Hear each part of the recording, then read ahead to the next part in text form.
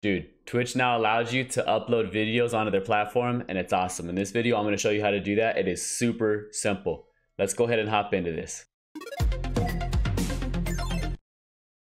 And as always, if you like the transition, own3d.tv, okay? Best overlays, best transitions out there. Go ahead and check them out. Throw them in the, up in the description. So right here, we're on my uh, Twitch homepage, okay? Now what you're gonna wanna do is go ahead and click on your profile icon up here and then you're going to want to go to your video producer.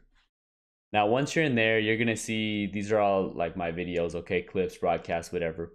And you're going to go up here to this top right. You see this here? It says upload. You're going to go ahead and click upload. And then you're going to choose the video that you want to upload. So I'm going to go ahead and choose my video here. And then it's going to start uploading. The longer the video, the longer the upload is going to take, okay? So once it's done uploading, show you what to do next. Okay, so now that it's done and it says unpublished here, so I'm going to go ahead and click on it. And now that I'm inside, I'm gonna go ahead and edit it just a little bit, okay? So I'm gonna put something like a title. So I'm gonna say sniped, because I got an epic snipe on this one.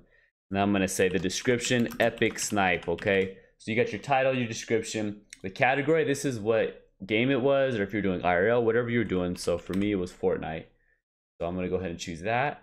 And this is the thumbnail. So this is, I'm cool with that thumbnail. On Twitch, I don't think thumbnails are crucial, but if you wanna choose your own thumbnail, you could upload it here. And this is the video's URL. So if you wanted to share that to one of your social media platforms, you would go ahead and do that. Okay. Now go ahead, once it all looks good, you would go ahead and click this publish button.